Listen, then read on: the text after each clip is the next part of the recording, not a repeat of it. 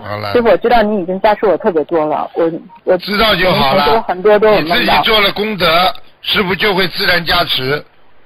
嗯你做功德了，师傅就会加持；你不做功德了，做功德就像一个扎着口袋一样，功德越多，嗯口袋越大，越能吸收到好的气场。这还不懂啊？你没有好的袋子，嗯你怎么能装好的东西啊？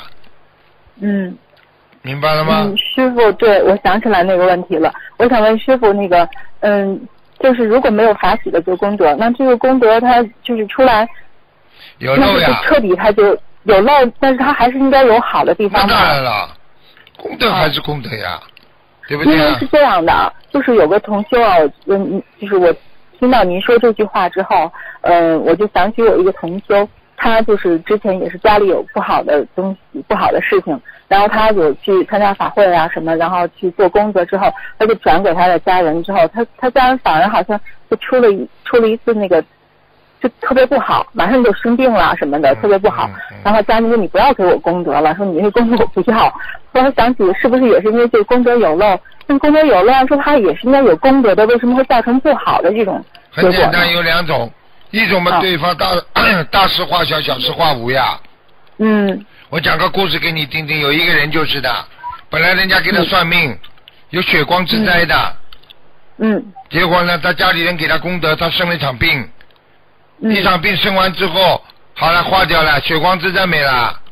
嗯，我我这个那跟这个故事没跟你们讲过啊，一这个老太个明白了，太，但是他那么恰好就发生在他给他功德之后，他马上就什么？对呀、消掉了呀了，消掉不就好了嘛。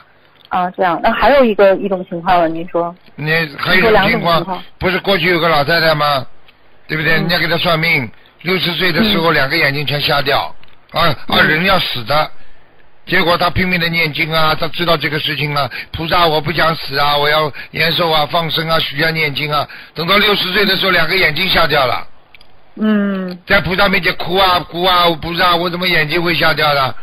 嗯。结果菩萨就在梦中告诉他，本来你的命六十岁休矣，嗯。死了，就是因为你一辈子做好事做善事，才让你嗯。大事化小，把你这个劫过了，留了你这条命。但是你必须要承受你上辈子杀人的果报，这两个眼睛瞎掉，这还不懂啊？嗯，明白了。好了，嗯，师傅，那那如果就是没有法喜的做功德，然后这个功德如果转转给别人的话，那别人会不开心吗？会有不开心的感觉吗？没有，就是功德有漏，功德有漏，哦功德有漏。比方说你转给人家一百，人家收到五十、哦，因为你做功德的时候不圆满呀。嗯举个简单例子，你给人家吃碗菜，本来这碗菜是糖醋的，对不对呀？多好啊！你现在烧的时候醋放的少了，糖放的少了，最后吃到人家嘴巴里不甜不不酸的，嗯那么你我问你，人家吃到了没有啦？嗯，吃到了呀嗯，。知道了，他会不会不开心啊？啊、就是你个吃的这个烂味，不圆满，听不懂啊？